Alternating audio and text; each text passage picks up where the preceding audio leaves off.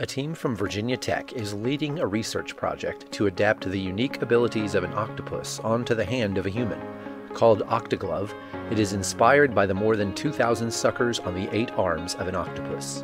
These suckers give the octopus the ability to grip and hold things underwater without using excessive force. In this application, the researchers use a combination of engineered adhesion mechanisms with LIDAR.